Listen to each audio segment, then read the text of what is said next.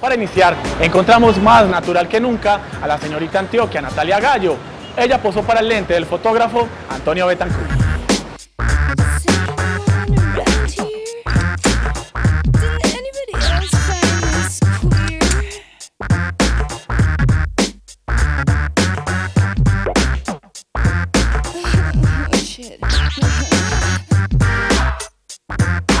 Estuvimos haciendo las fotos oficiales de la señorita Antioquia,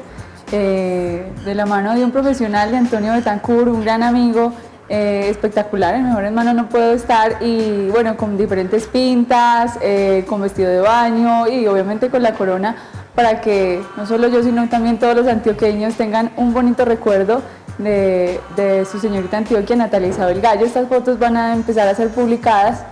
y, bueno, qué rico, compartimos, pasamos delicioso.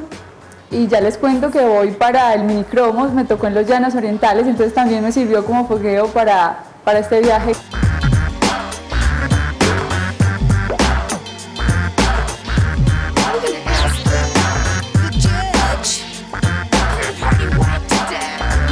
Es una mujer que tiene como fortalezas su tamaño, su postura, eh, su cara, que obviamente con todo ya este proceso y todo este trabajo que se ha hecho, obviamente va adquiriendo más porte, más imagen, eh, se va viendo más glamurosa, ella va soltando más, es una mujer, digamos, que piensa para hablar, entonces yo pienso que es otra de las cosas que en, algún momento eh, nos va a fortalecer, porque no es una mujer tan emotiva que de pronto puede equivocarse en un momento especial. Entonces le gusta pensar, le gusta hablar, y es una mujer que yo definitivamente digo, tiene un porte, tiene un tamaño que la va a hacer sobresalir en Cartagena.